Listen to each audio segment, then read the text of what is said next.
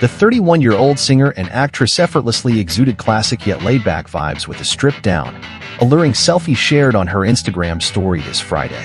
In the captivating mirror snap, known for her role in Only Murders in the Building, she embraced a relaxed demeanor, going barefoot and donning a simple white tank top paired with loose-fitting jeans, perched at the edge of a bed.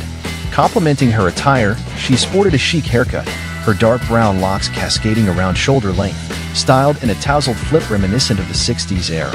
Accessories were kept to a minimum, with the singer adorning subtle gold rings and a black and gold belt, perfectly accentuating her minimalist approach to glamour, epitomized by a delicate nude lip. While Gomez effortlessly masters the art of elevating even the most straightforward ensembles, as evidenced by her sultry mirror shot, she also commands attention in dazzling red carpet looks. This was evident at the 2024 SAG Awards, where Gomez stunned in a white Versace gown adorned with sequins, showcasing her versatility in seamlessly transitioning from casual chic to full-blown red carpet glam.